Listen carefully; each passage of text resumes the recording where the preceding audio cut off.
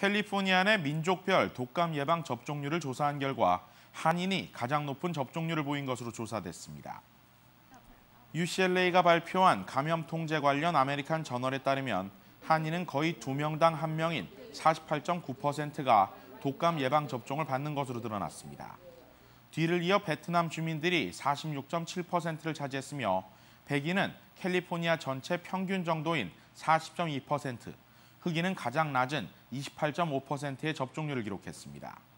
저널 보고서는 지난 2005년 이후 4명당 1명꼴이었던 독감 예방 접종률이 꾸준한 계몽으로 2012년 이후 3명당 1명꼴로 늘어나고 있다고 설명했습니다.